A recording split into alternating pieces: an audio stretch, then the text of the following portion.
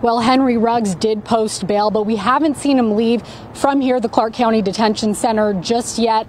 In court this morning, we learned that he could face up to 46 years in jail after that initial court appearance. I spoke with the district attorney who appeared pretty fired up, saying he doesn't care who you are. If you commit a felony DUI like this one, he will make sure that they seek justice.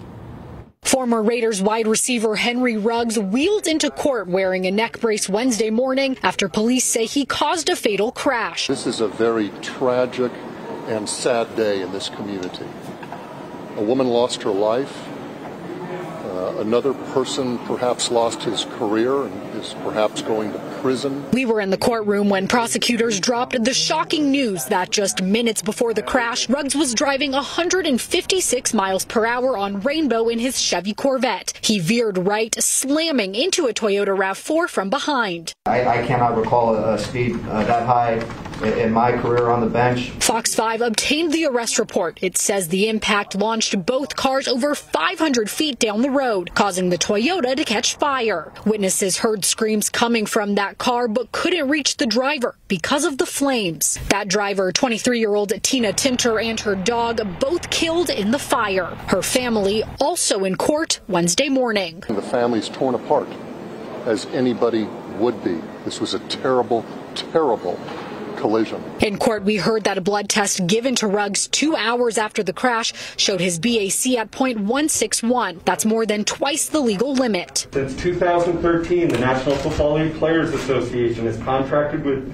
various rideshare services, specifically to provide free ride shares availability to their membership specifically to prevent tragedies such as this. Ruggs could face a reckless driving charge and two counts of felony DUI one for the woman who was killed, another for his passenger, his girlfriend, who was also hurt. But more could be coming after officers found a loaded gun in his car. Well, the minimum would be two years, the maximum would be 46 and that could increase depending on whether we file an additional charge involving the gun. Ruggs posted his $150,000 bond. Prosecutors initially pushed for a $1 million release, the defense getting that lowered with the former football player's spotless record. His background is impeccable.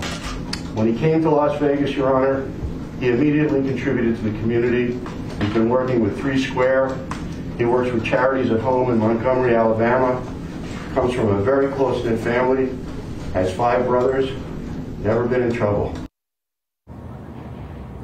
The district attorney made it clear that charges haven't been filed yet. Those will be coming next week. Ruggs will have to wear an electric monitor to ensure that he isn't drinking alcohol. He'll have to give up his passport and he also won't be allowed to drive. I'll continue to follow the developments and bring you more as we learn the latest. Reporting live, Sophia Pericone, Fox 5 News, local Las Vegas.